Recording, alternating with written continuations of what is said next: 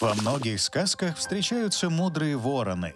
Они знают все на свете и умеют предсказывать будущее, и в сказках им по три века.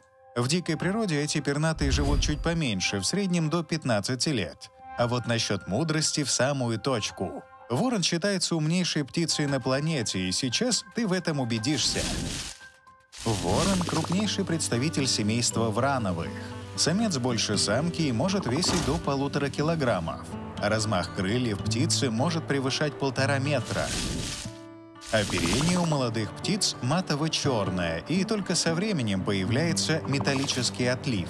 Он может быть синеватого, зеленоватого и даже фиолетового оттенка. У взрослых птиц на горле появляется пышный перьевой воротник. Вороны распространены во всех частях света, кроме Антарктики, от субтропиков до арктических побережий. В отличие от серо-черных ворон, которые живут зачастую прямо в городских дворах, вороны предпочитают селиться на высотных зданиях, на окраинах городов, в лесах, пустынях и даже высоко в горах. Вороны всеядны, но чаще всего их добычей становятся мелкие грызуны — мыши, крысы, ящерицы, лягушки и выловленная рыба. Всего пара воронов продуманными действиями может одолеть зайца или даже не крупное животное, а олененка или лосенка. Эти суровые красавцы обладают выдающейся смекалкой. Для добычи еды они используют различные инструменты.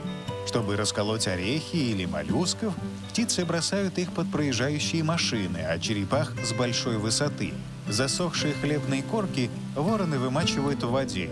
А чтобы добраться до провизии зазевавшихся туристов, птицы могут развязать пакет или расстегнуть молнию сумки. Воронята хорошо приручаются. Их можно научить говорить не просто слова, а целые фразы и даже решать головоломки. Эти птицы глубоко привязываются к человеку и часто становятся верными, словно собаки.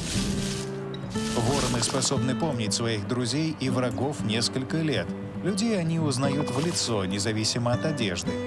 Кроме того, они легко отличают ружье от палки и способны анализировать гибель товарищей, чтобы в будущем суметь избежать той же опасности. А если птенцам в гнезде будет угрожать беда, то на защиту встанет вся стая.